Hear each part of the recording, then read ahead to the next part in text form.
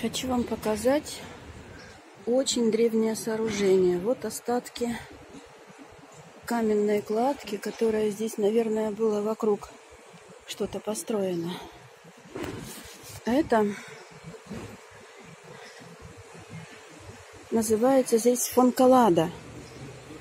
Это сооружение было построено в IX веке по приказу короля испанского Альфонса III. Здесь источник, и из этого источника весь город приходил, набирал воду. Сейчас я спущусь.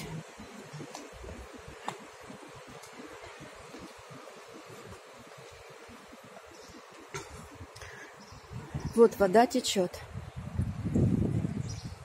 Весь город приходил сюда набирать воду. Я даже, даже не знаю, не представляю, как они тут просто набирали. Или, может быть, прачки приходили сюда и стирали. Вот.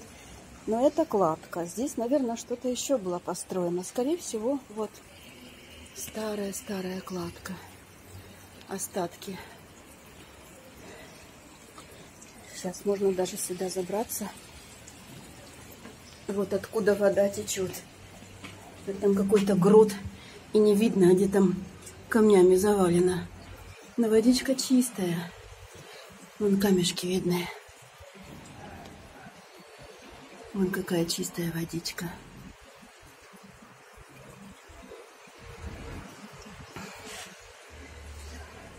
Вон как она вымыла. Все время течет и камни в камнях вымыла прям такие бассейны.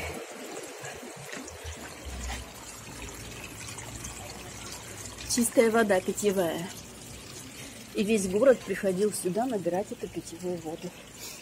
Вот это единственное сооружение 9 века, которое осталось до романской эпохи построенное. Ну, конечно, как всегда, там наверху крест, что-то написано. Но это интересная историческая памятка. Вот здесь табличка есть. Сейчас я покажу эту табличку. Вот написано архитектура прероман, преромания Астуриана. То есть памятник архитектуре дороманской эпохи Астурии. Вот так он выглядит. Этот памятник Фонкалада и улица тоже названа. Современное здание кругом. И улица тоже названа так, названа Фонкалада.